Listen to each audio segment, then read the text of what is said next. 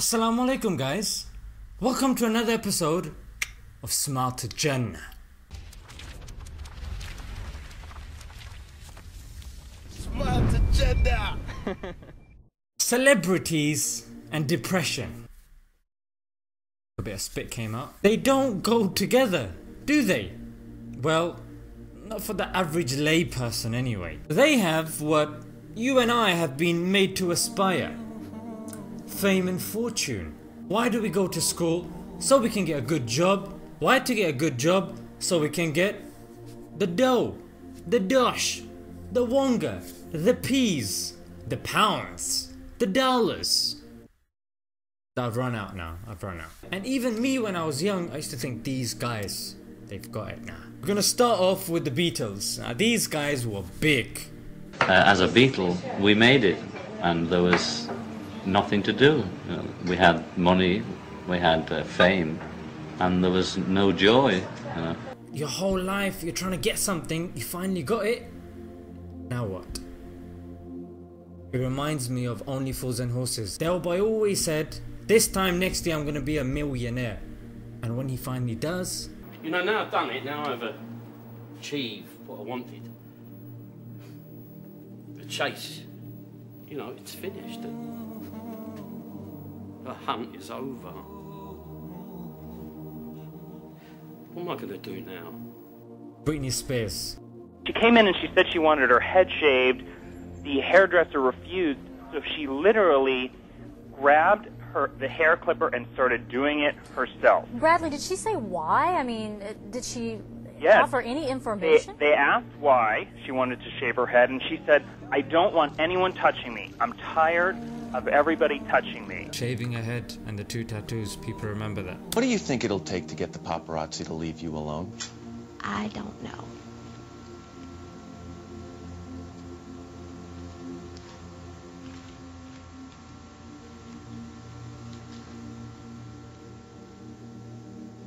Is that one of your biggest wishes?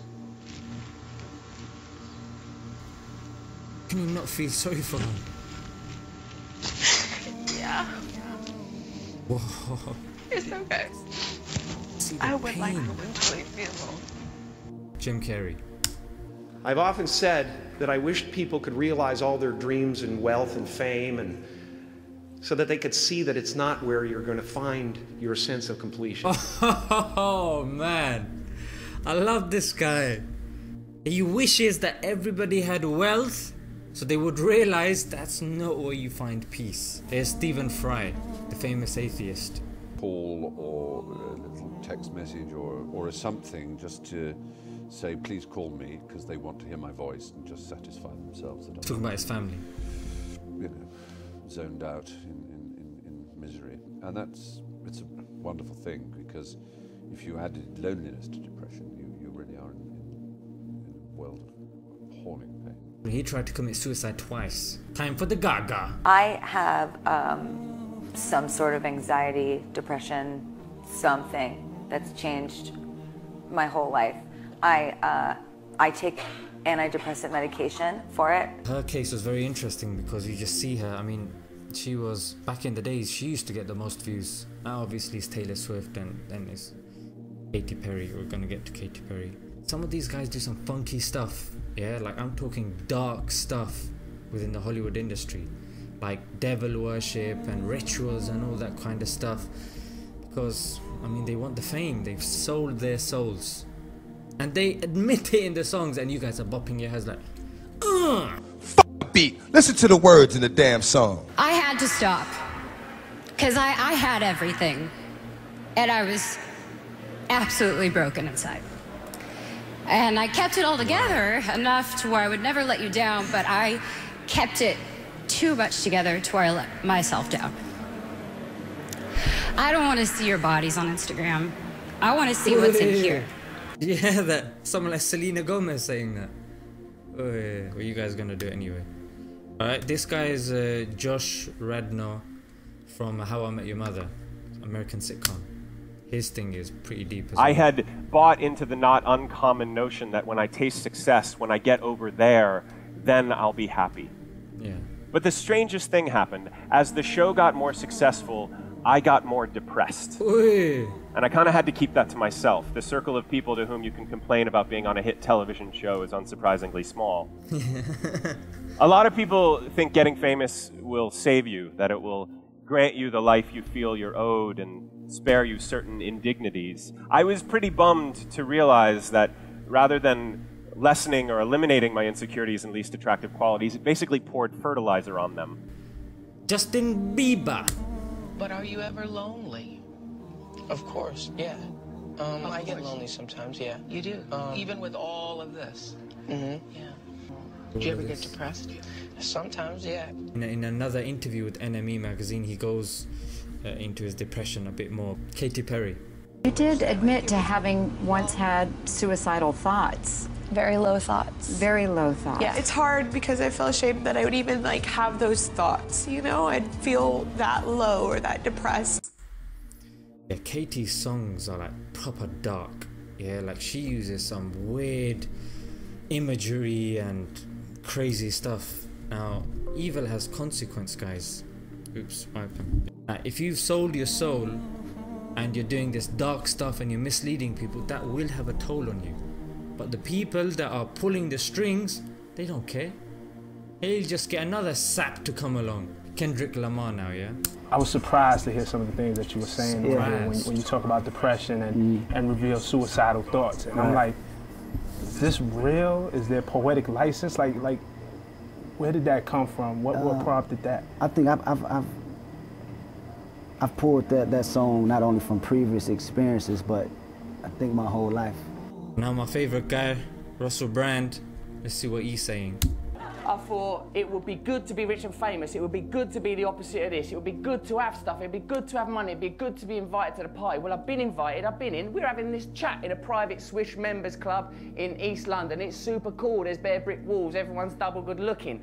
But I've been inside now. I've seen the other side of the looking glass. It ain't worth it. It's not good. Don't feed your soul. I still feel empty inside. And because I tell you why. Because the things that you're being offered can't feel what we're looking for. Whoa, Russell Brand! Wait, I'll just play this clip of KSI as well, the famous YouTuber. For real, like just to just take a break from it all and not having to think about oh I need to Snapchat this or Instagram this or tweet this. Like the amount of times that I was I've had my phone and gone, oh I'd be sick if I just tweet this and then I was like, you know what, no, I need to just sit back, relax and just embrace life. When we make money, relationships, jobs, education, nice house, nice wife, nice girlfriend or whatever, our purpose, what happens when we finally get these things and they're not what we expected? Or they go wrong? What then? Our very foundation, our purpose is destroyed. And now Allah, God, whatever you want to call him, He's created us. He knows our purpose because He's our creator. And He tells us that He has created jinn and man for His worship. To worship Him, acknowledge Him, appreciate Him. That's our purpose. And guys, however much we want to wrap it up in fancy vocab, that's the bare bones of the matter. And sakina and peace that we're looking for, Allah says, Verily, it is in the remembrance of Allah do hearts find satisfaction. In His remembrance, thinking, worshipping, acknowledging Him, that's how we find peace. If you're a non Muslim and you're watching and you're like, I don't know, I don't know, there's so many religions out there, mate, it's confusing, mate. I understand, yeah? Just like with everything else, whenever it's confusing, you do your research, you find out, you try your best. Whenever you're by yourself, raise your hands, ask, and make this supplication.